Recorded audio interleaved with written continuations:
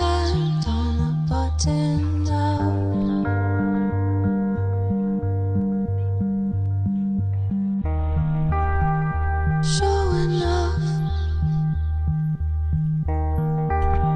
You've got your hand on the button.